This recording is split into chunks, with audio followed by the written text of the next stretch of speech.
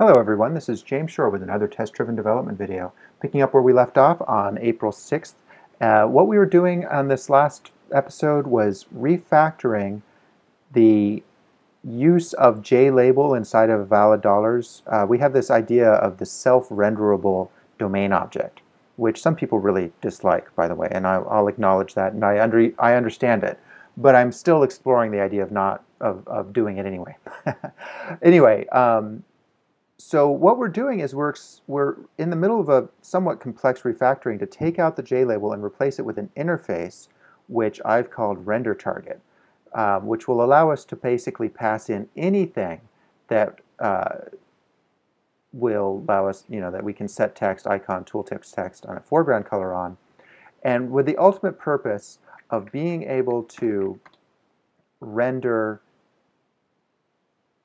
our text field in the same way. So right now, if we put in a negative value, for example, um, we see our values turn red. Well, I'd like this to be red too. Uh, similarly, if we put in an illegal value, we see an icon. I'd like to see an icon here too, but I actually want it to be over here, not on top of, not replacing the text. So this is some of the stuff that we are gonna, that we're doing this for. This allows our UI to display itself differently, but still have the dollars class is be responsible for doing the rendering logic. And I, I think that's actually very cool. So that's what we're in the midst of right now. Um, the refactoring is a bit tricky.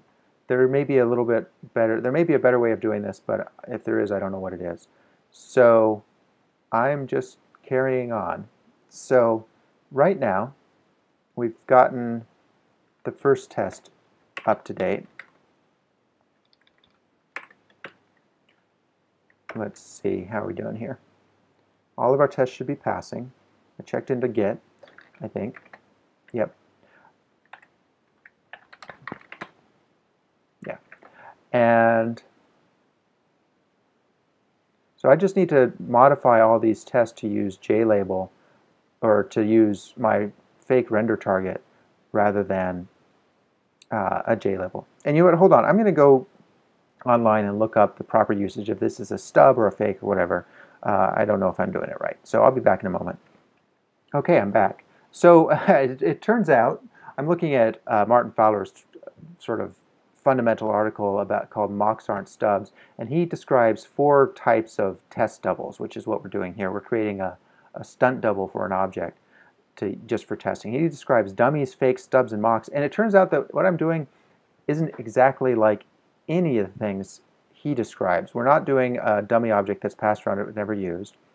It's not really a fake that has a working implementation. It's not, I guess you could call it a stub in a way, uh, and it's certainly not something that has built-in expectations really what this object is, is just a way of capturing the value so we can assert on it. I'm going to call it a stub for lack of a better name.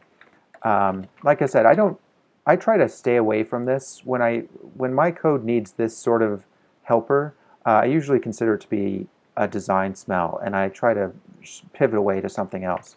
But, um, so I don't pay too close attention to the type of language people use around it.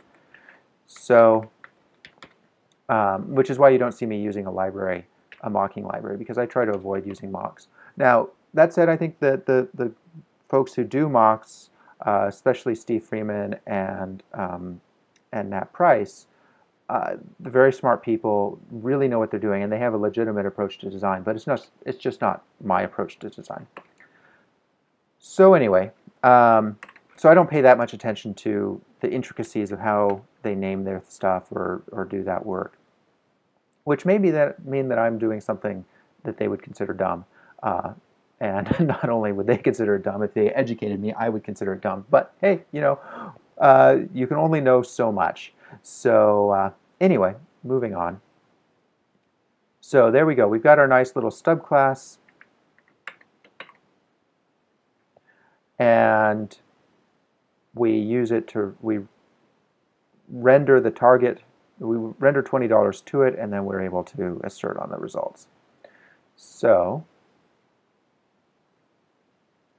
now we should be able to do the same thing here. Rather than saying JLabel, we should be able to say render target stub, target was new render target stub.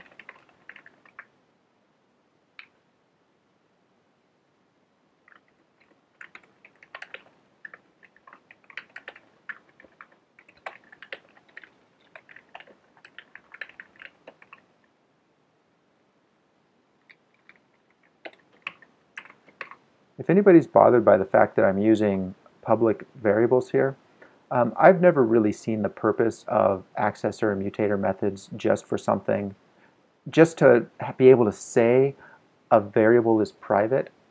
Um, there are some benefits in terms of automated refactorings, but you know, automated refactoring tools are getting better and better, and those benefits are, are increasingly minimal. Really, we learned in school that you're never supposed to make a variable private public, and so we make them all private, and then we wrap these public setters and getters around them, which is really semantically, from a design perspective, it's equivalent to making the variable public. So when I have something that I want to be public, I just make it public. The only reason I'm using these setter methods at all is because that's what the interface requires. And in the interface, I'm not actually trying to expose an underlying variable. I'm trying to have these, these methods actually do something. So uh, anyway, that's a soapbox topic for another day. So I didn't pay attention. Did I? Did that pass? No, it did not. Expected red when negative. Right, because I haven't migrated that code over yet.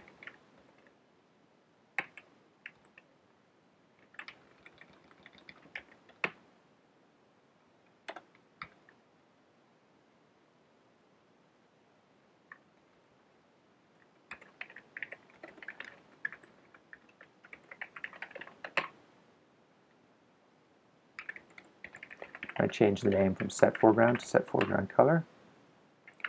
Okay. Okay, this is working out pretty cleanly. I think I can move it up into a higher gear, as Kent Beck would say. So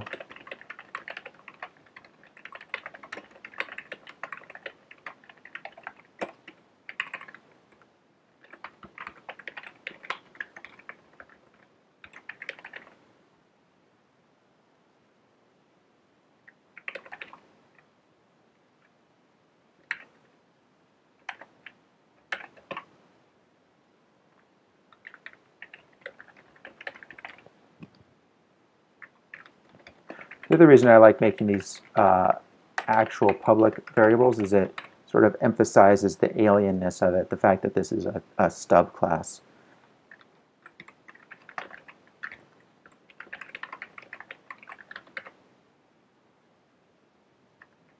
Okay, that should fail.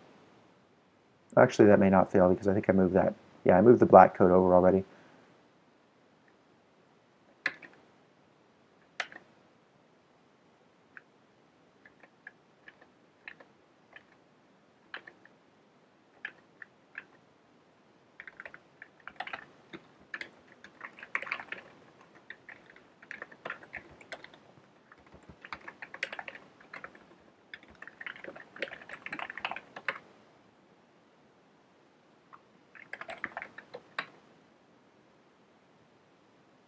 Oh, that's interesting. This is a case where having the access, direct access to those things makes the test a little bit more readable.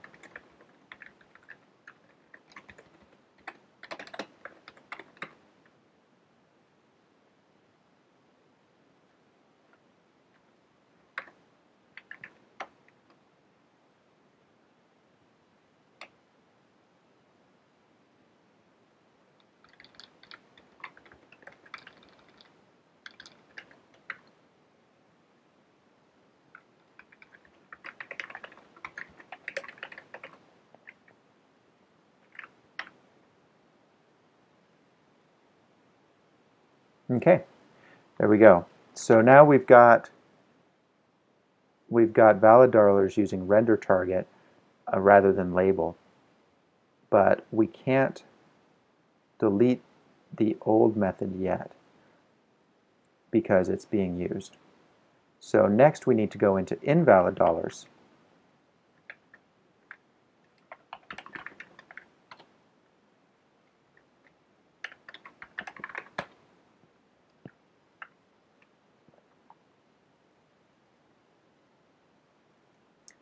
and do the same thing. See, what we said rendered swing label here, but what did we call it over here?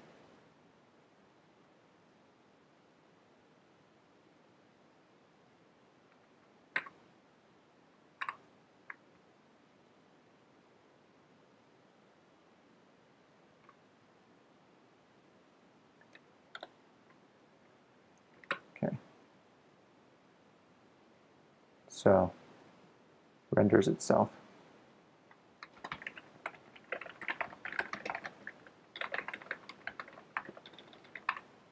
And I think what I'm going to do is I'm going to take this this little uh, stub class I created, I'm going to promote it to be a standalone class. Is there refactoring for that?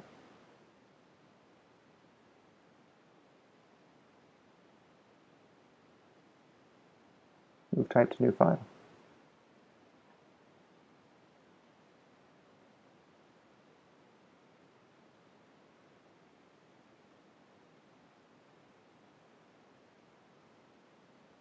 What is that about? I don't even understand that. Um, seems like it wants to do something a little more sophisticated than I need, which is just to believe I just need to make a new file. called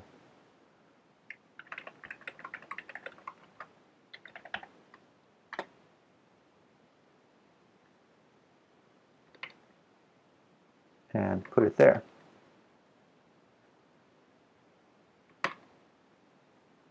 Yeah. And then um,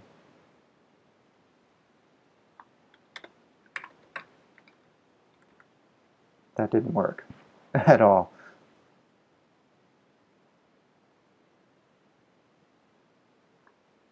Oh. Shouldn't have removed that import.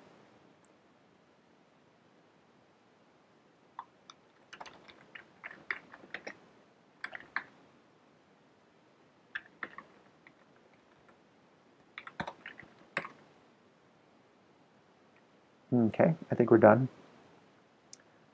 Does everything still work?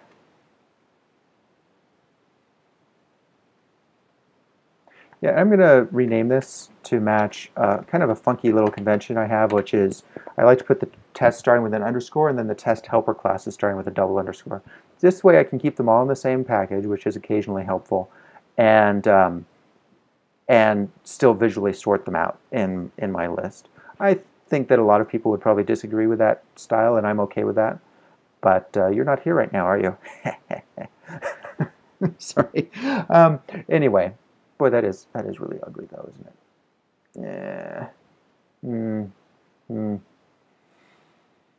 Well, we'll keep it that way for now. It's easy enough to refactor later. So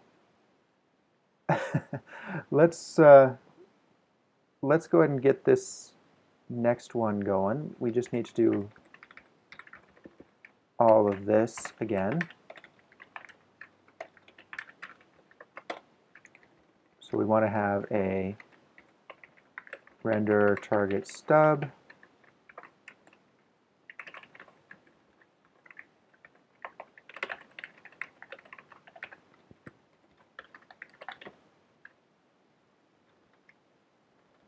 And we'll come back to the rest of this in a moment.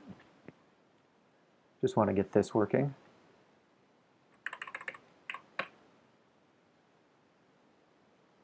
Okay, that should fail because I don't believe we've implemented that method. Yeah.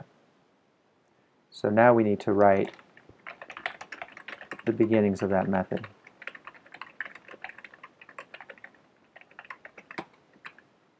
Now the test should pass.